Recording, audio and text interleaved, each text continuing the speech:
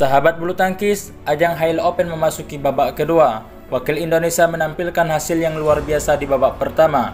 Dari 15 wakil Indonesia, hanya satu yang harus tersingkir dan pulang lebih dahulu. Perjuangan yang melelahkan mau tak mau harus dijalani para atlet Indonesia demi lolos ke babak final di Bali Desember mendatang. Ganda campuran Hafiz Faizal Gloria Emmanuel Wijaya harus menghadapi pasangan muda Denmark, GPB Sarah Lunggar. Hafiz Gloria yang kerap terhenti di babak awal tampil memukau dan berhasil meraih kemenangan 21-11 dan 21-17.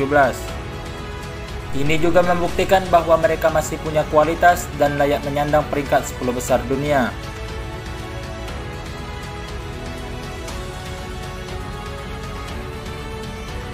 Muhammad Sohibul Fikri dan Bagas Maulana menghadapi lawan yang sulit yaitu pasangan peringkat 18 dunia asal Inggris Benlen Senpendi. Menghadapi pasangan Inggris ini, Bagas Fikri harus menyerah 21-14 dan 21-15. Tentunya Bagas Fikri harus terus mengasah pengalaman dan diyakini 1-2 tahun ke depan akan menjadi salah satu pasangan terbaik dunia.